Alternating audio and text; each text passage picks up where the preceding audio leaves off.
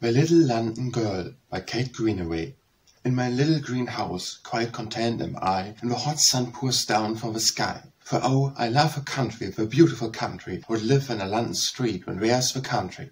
I live in a London street when I long and long To be the whole day with sweet flowers among, Instead of tall chimney pots up in the sky, The joy of seeing birds and dragon flies go by.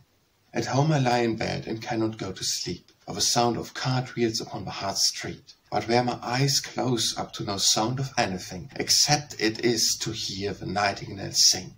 And when I see the chickens and the geese go walking, I hear the pigs and the ducks all talking, And the red and the spotted cows they stare at me As if they wondered whoever I could be.